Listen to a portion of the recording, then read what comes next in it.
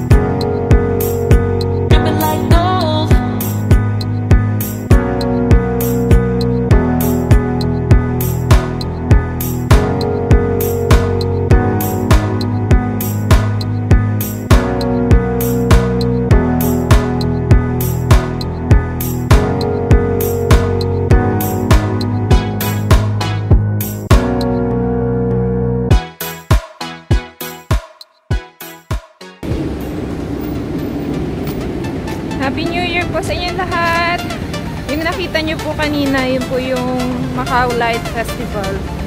Um, I'm going siya for one month. Uh, ewan ko kung nakalimutan kong tignan kung hanggang kailan siya matatapos. Pero pauwi na ako ngayon. Uh, walking distance lang yung bahay namin. So, salamat po sa panonood. Kita po tayo ulit sa susunod na video. Bye for now!